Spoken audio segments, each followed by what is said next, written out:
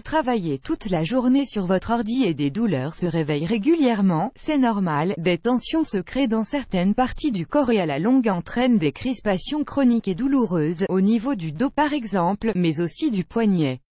Je vous ai déjà parlé du repose-poignet pour soulager ces tensions, mais si vous n'avez pas encore eu le temps de vous en procurer un, voici une autre astuce, alterner trackpad souris La position de la main sur la souris est génératrice de tension, et c'est pour cela que le repose-poignet peut être utile en permettant aux muscles du poignet de se relâcher.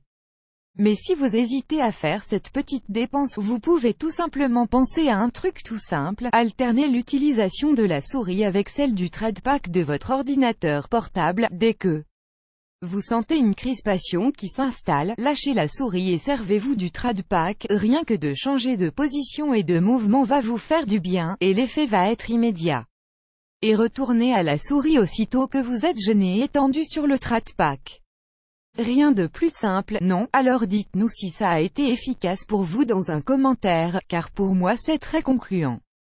Vous aimez cette astuce, partagez-la avec vos amis sur Facebook. À découvrir aussi, 10 exercices efficaces pour soulager son dos au bureau, 7 étirements à faire en 7 minutes pour soulager les douleurs du bas du dos complètement.